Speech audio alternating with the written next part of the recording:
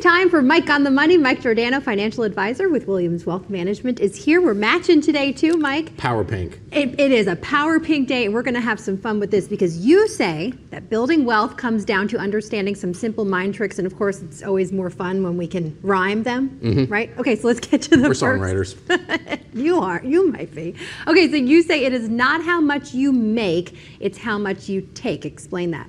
Yeah, I mean, everybody wants to make more money, right? But the, but the key is how much do you take? How much do you keep uh, from your paycheck? So even just start wherever you are right now and say the, the, the most important thing is paying yourself first. So when you get that money, knock off some debt, put money into investments. This is why uh, investing in your 401ks is so good because it just goes in every paycheck automatically. Those types of things are so powerful so that you get all of that wealth building stuff going before you start the discretionary spending.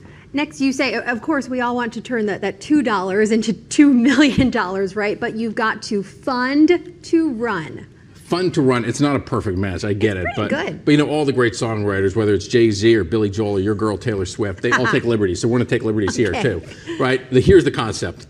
Uh, when you start investing, you can't take compound interest will take two dollars and turn into two million. Unfortunately, it will take several lifetimes for that to happen. So what you got to do is is is get the juice going, and so you want to keep pumping money into those accounts, pumping money into those accounts to the point where they can run on their own. So it's like watering a tree. You put that water on the tree if you if you get the little seed, and for weeks and weeks and weeks you see nothing happening, right? You're putting all this energy in and nothing's happening. Eventually that tree starts growing and then you don't have to do anything and it does it all on its own.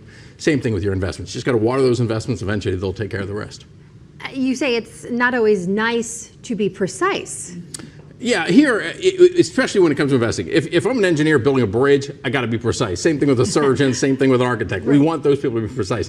When it comes to investing, uh, you, you you can have paralysis by analysis by, by thinking too much about the precise journey of how your investments are going to go, and it's not linear. So what you need to do is just say, I'm going to put this money in, and generally it's going to be in this ballpark range over time. But even if it's not precisely on the journey that I think it's supposed to be on, I'm just going to keep going. I'm going to keep funding. I'm going to keep funding.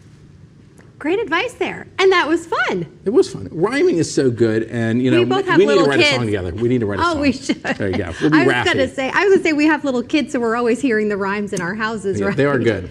Mm-hmm. They're clever. Mike, thank you so much. Bet. short, finally, uh, last takeaway here that I almost forgot to mention because it's a good one. You say building wealth is really a process. That's the takeaway. It is a process, just like raising kids, right? Or, or, or growing your career. Uh, there's ups and there's downs. You take two steps forward, you take one step back. Over the last 18 months, we've seen that taking that step back. It's not fun, but as long as you keep at it, you keep at the process, uh, the journey will be, you know, should be successful over time. Great, great takeaway to to end this Perfect. with. I Appreciate you, it. Mike. Thank you so much, and we will be right back.